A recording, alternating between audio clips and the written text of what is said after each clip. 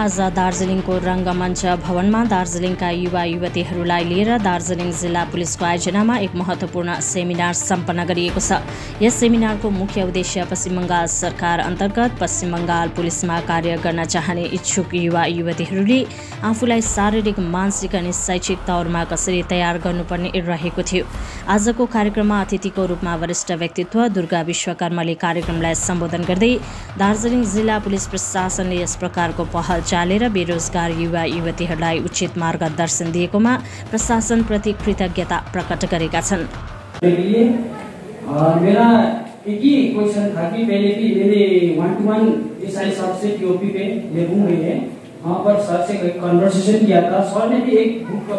मुझे किया था आर एस सर का बुक था।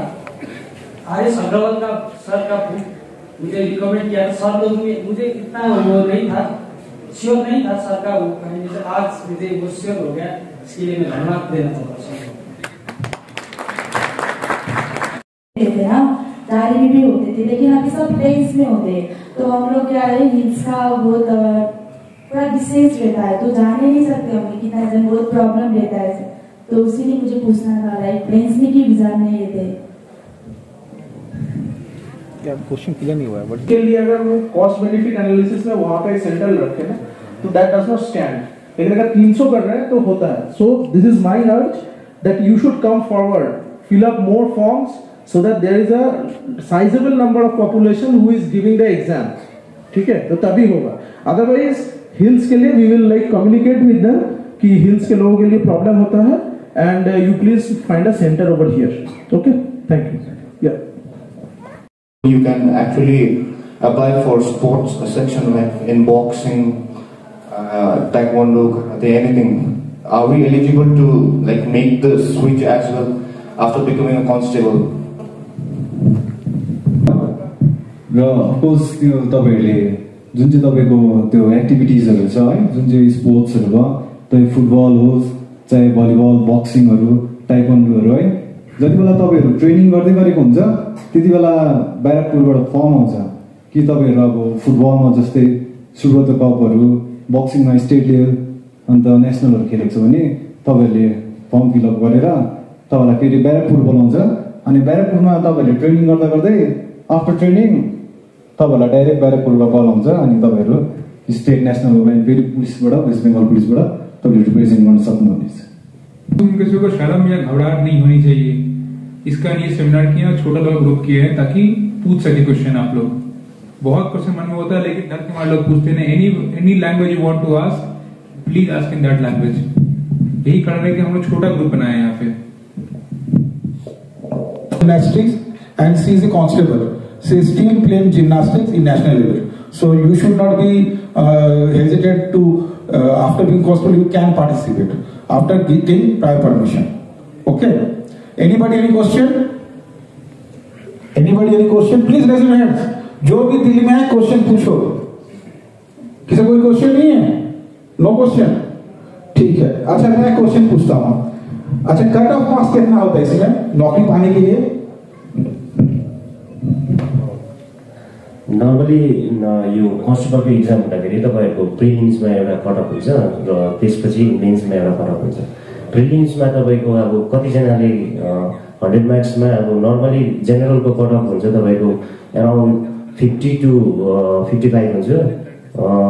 टु ट्वेन्टी ट्वेन्टीमा जुन हामीले क्लियर गरेको थियो त्यो बेला जेनरलको कटअफ थियो सिक्सटी टु सिक्सटी फाइभ अनि ओबिसीहरूको थियो फिफ्टी फाइभ टु सिक्सटी अन्त एससीको थियो फिफ्टी टु फिफ्टी फाइभ। र त्यसरी नै हाम्रो एसटीको थियो, प्रिलिम्समा कटअप उसके बाद ऑब्वियसली डिप्रेशन में गए थे, परेशान रहते थे, दुखी रहते थे। स्वाभाविक है ये चीज़, लेकिन ऐसा होना नहीं चाहिए। पर्सनालिटी पर डिपेंड करता है। उसके समय, उस समय क्या होता है फैमिली साथ में होती है, दोस्त साथ होते हैं, और भी रिक्रिएशन एक्टिविटीज़ का बहुत सा तरीका होता है जो साथ में होते हैं। उससे जो डीमोटिवेशन हुआ था, वो मोटिव मोटिवेशन थोड़ा सा बेटर होता है। अभी क्या है, जब अगर मान लो ऐसा कुछ होता है तो एक ही चीज़ सोचना है, जो हम सोचे हुए थे, जिस चीज़ के लिए सोच रहे थे, वो पूरा नहीं हो पाएगा। आज फॉर एग्ज़ाम्पल बचपन में मेरा बहुत ही पर्सनल छोटा सा एग्ज़ाम्पल इसलिए बता रहे हैं। बहुत मन करता था मेरा वीडियो गेम खेलने का P S four P S three P S five देखते थे लोगों के पास। तो my father started his career from a clerk in a bank तो उन्होंने हम लोग को पढ़ाया लिखाया, फिर जैसा भी है जो स्टोरी सबकी स्ट्रगल स्टोरी होती है अपनी। बट अपने स्टूडेंट लाइफ में हम खरीद नहीं और टेकिंग सच ऑफ़ इनिशिएटिव तो ये एसपी सर ने फरवरी महीने के पहले भी हम लोग कहा कि हमें कुछ करना है for the youth of Darjeeling तो ये आपके लिए है। हम लोग सोचेंगे कि आप लोग इससे सबसे ज़्यादा बेनिफिट उठाए, एवं और भी ज़्यादा बढ़े। सेकंड मैं थैंक्स देना चाहूँगा, हमारे ऑर्गेनाइजर्स लोग को जो ये कर चुके हैं, मेरे पुलिस पर्सनल जिन्होंने हार्ड वर्क करके ऑर्गेनाइज किया है, मेरे सब इंस्पेक्टर मेरे कांस्टेबल्स मेरे सोशल मीडिया मॉनिटरिंग से जिन्होंने इस काम को बेहतरीन तरीके से किया है खंड भोट और थैंक्स मैं देना चाहूँगा, यहाँ के यहाँ के भानु भवन के अथॉरिटीज को, जिन्होंने ये काम करने सफलता देने में हम लोग को वो किया था, सहयोग किया है। तो सर, इसी के साथ मैं कंक्लूड करना चाहता हूँ, पर उससे पहले मैं एक बार आपको एक साथ मेरे साथ बोलिएगा three words yes we can ज़ोर से। और एक बार thank you thank you very much यहाँ पे ज़्यादा बेटर वैल्यूबल स्पीकर हमारे सामने है जो आप लोग का डाउट होगा उसे क्लियर करेंगे। बट इस प्रोग्राम के बारे में थोड़ा हम ब्रीफली आप लोग आउटलाइन कर देना चाहते हैं। ये प्रोग्राम हम लोगों ने दार्जिलिंग के यूथ के लिए आयोजित किया है। हम लोग यूनिफॉर्म फोर्स से हैं। तो इससे हमसे हम बेटर तरीके से हम लोग गाइड कर सकते हैं, क्या तैयारी करनी है। हमारे पास कई सारे ऐसे बच्चे हैं, जो सब इंस्पेक्टर जो कांस्टेबल रैंक में ज्वाइन करते हैं लेडी कांस्टेबल ज्वाइन करते हैं, उनके एक्सपीरियंस कभी आप लोगों को सुनने का मौका मिलता नहीं है, कैसे आए हैं, कहाँ से पढ़ाई लिखाई किया है। और ये चीज़ मेरे नज़र में इसलिए आया कि जब हम भी आठ दस साल पहले एक स्टूडेंट थे we are aspiring for an exam तो हमारे पास कोई राइट गाइडेंस नहीं था।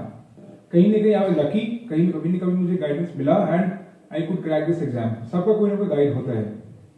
तो मुझे ऐसा लगता है कि पुलिस आप सब लोग के करीब रह के काम करती है। डिफरेंट डिफरेंट चीज़ों को हैंडल करती है आपके साथ मिलकर आप लोग का करियर प्लानिंग में भी हम क्यों ना हेल्प करें हम?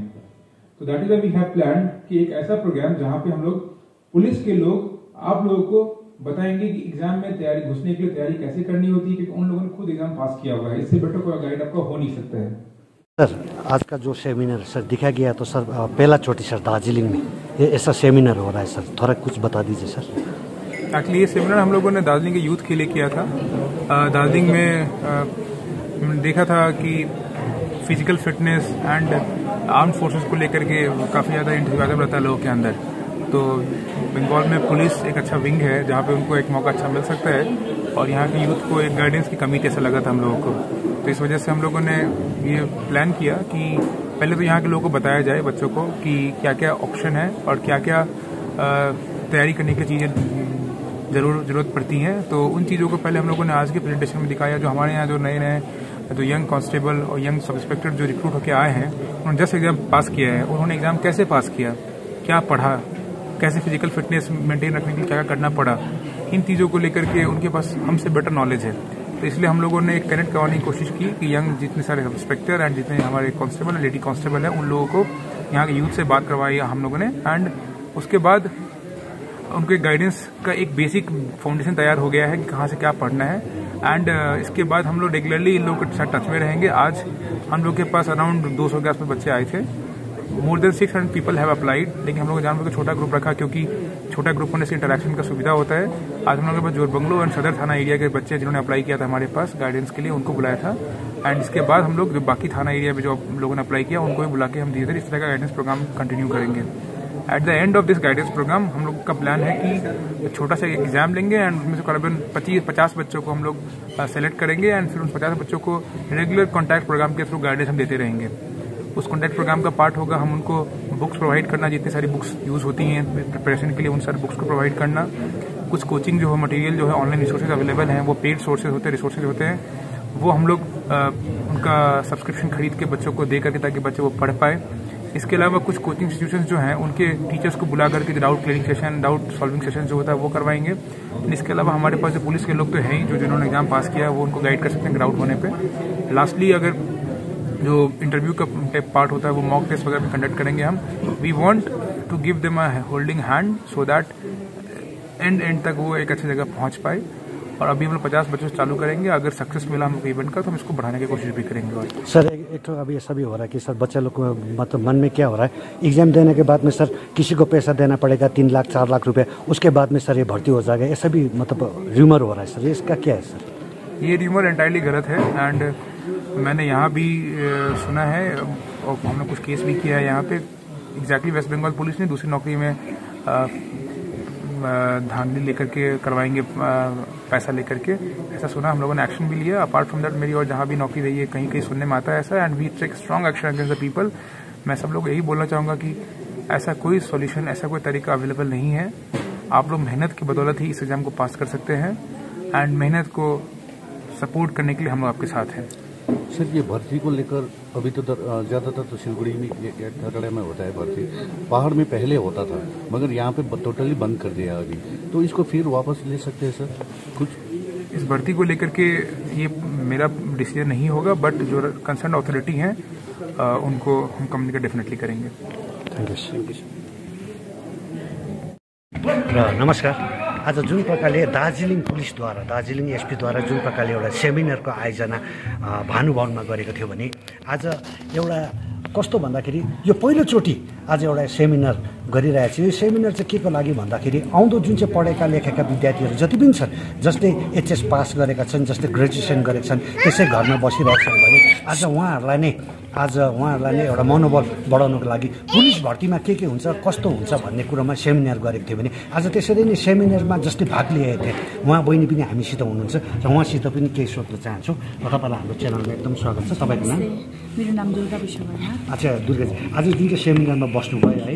जुन प्रकारले आज जति पनि पुलिसको वरिष्ठ व्यक्तिहरू थियो उहाँहरूले एउटा सेमिनार गरेर यो जुन भर्ती विषय लिएर त्यो भन्नु तपाईँलाई कस्तो किसिमको लाग्यो आज अब सरले सबै जे अब हामीलाई अस्ति अस्ति सबै कन्फ्युज भइरहेको थियो है अब हामी अब पुलिसको भर्ती आउँथ्यो रिक्रुटमेन्ट आउँथ्यो अब हामीले इक्जामको लागि रेडी प्रिपरेसन गर्थ्यो। तर हामीलाई केही थाहा थिएन अब कसरी दिनुपर्ने ला इक्जाममा अब के आउँछ हुन्छ नि अब कति मार्क्सहरू डिडक्ट गरे त्यस्तो केही थाहा थिएन तर आज जस्तो सरहरूले यहाँ दार्जिलिङमा फर्स्ट टाइम एउटा सेमिनार राख्नुभयो है अब जसरी यहाँनिर हामीलाई सबै सरले अब यस्तो हुन्छ उस्तो सबै हामीलाई चाहिँ अहिले डल्लै क्लियर गराइदिनु भयो क्या। इक्जाममा बस्दाखेरि अब कसरी अब इक्जाम आउँछ कति अब मार्क्सको इक्जाम आउँछ डिडक्सनहरू सिलेबसहरू सबै दिनुभयो। अब त्यसको चाहिँ एकदमै मलाई खुसी लाग्यो फर्स्ट टाइम सरहरूले आएर अब यहाँनिर फर्स्ट टाइम त भएको दार्जिलिङमा यस्तो सेमिनार अब सरले फेरि यहाँ फर्दरमा पनि अझै हामीलाई उयोहरू दिनुहुन्छ भन्नुभएको छ अझै हेल्प गर्नुहुन्छ भन्नुभएको छ। है अब त्यसले गर्दाखेरि चाहिँ अब फर्दरमा हामीले इक्जाम बस्यो भने त्यसमा चाहिँ हामीलाई केही प्रब्लम हुँदैन सरहरूले। अब कतिजनाको सरहरूको एक्सपिरियन्स पनि भन्नुभयो भन्नुभयो सरहरूले अब है। अब सरहरूले कसरी इक्जाम पास गर्नुभयो अब सरहरूको त्यो कतिवटा हामीलाई डल्लै टिप्सहरू पनि दिनुभयो इक्जाममा सरहरूको कस्तो प्रकारले क्वेसन्स आउँथ्यो कस्तो प्रकारले अब सरहरूले इक्जाम गर्नुभयो त्यो सबै दिनुभयो। त्यसले चाहिँ मलाई पुरा खुसी लाग्यो। हामीलाई पुरा हेल्पफुल तपाईँले एउटा क्वेसन उठाउनु भएको थियो नि एसपी साहबलाई। जुन चाहिँ भर्ती चाहिँ पहिला दार्जिलिङ डालीमा हुन्थ्यो त्यो किन छैन भन्ने है? त्यो क्वेसन हामीले पनि उठाउँदा एसपी साहबले एउटा के गर्नुभएको छ भन्दा चाहिँ हाई अथोरिटीसित कुरा गरेर सायद भयो सम्भव भयो भने दार्जिलिङमा नै यो भर्ती पनि अब सुरु गर्ने भन्ने जस्तो त्यसमा के भन्नुहुन्छ? त्यसमा चाहिँ अब मैले के भन्नुहुन्छ भन्दाखेरि चाहिँ अहिले हाम्रो हिल्सको पहिला त अब डालीमै हुन्थ्यो अरे अब यो यस्तो सुन्दाखेरि है इक्जामहरू पनि भयो। अब तपाईँको भर्तीहरू सबै दार्जिलिङमा हुन्थ्यो अरे भन्थ्यो। सबैजना यहाँबाट जान्थ्यो। तर अहिले चाहिँ के भएको छ? सबै प्लेन्समै हुन्छ क्या अब इक्जाम भयो भर्ती भयो सबै। रिसेन्टली मसँग पनि भयो। मैले इक्जाम अहिले वेस्ट बेङ्गल पुलिसको यो रिक्रुटमेन्टमा मैले मतलब के भन्छ त्यसलाई भरेको थिएँ है इक्जामको लागि भरेको थिएँ। तर मेरो राईगञ्जमा पऱ्यो। सिलगढीदेखिको पनि दुई घन्टा टाढो परेको थियो। अब म दार्जिलिङमा बस्दै थिएँ। दार्जिलिङबाट त अब सिलगढी त कति पनि लाग्दैन तर सिलगढीमा पनि मेरो अब टु आवर्स लाग्थ्यो जानु। त्यसले गर्दा मैले इक्जामै दिनु पाइनँ त्यो अपर्च्युनिटी नै मिस गरेँ मैले है। अब अहिले चाहिँ के सोच्छु भन्दाखेरि चाहिँ अब यो डालीमा भएको भए चाहिँ म सायद जानु सक्थेँ होला इक्जाम अब डालीमै मात्रै पनि होइन दार्जिलिङको यहीँकै छेउछेउमा या फेरि यहीँ यहीँतिर भएको भए पनि अब मैले इक्जाम राम्रोसँगले दिनु पाउँछु होला तर दिनु पाइनँ। अब सरलाई मैले डिस्प्ले सरलाई अब क्वेसन त उठाएको छु है अब यो हिल्समा चाहिँ किन नभएको भनेर अब सरले अब ठुलो अथोरिटीसँग कुरो गरेर यो कुरा सल्भ गर्छु भनेर भन्नुभएको छ। अब म चाहिँ चाहन्छु सरले गरिदिनुहोस् भनेर हाम्रो त्यसले गर्दाखेरि सबै यहाँ दार्जिलिङको जति पनि दिदी बहिनी भाइ उनीहरूलाई अलिकति पनि सजिलो हुन्छ। फ्युचरमा अब भन्नुमा हवस् तपाईँलाई थ्याङ्क यू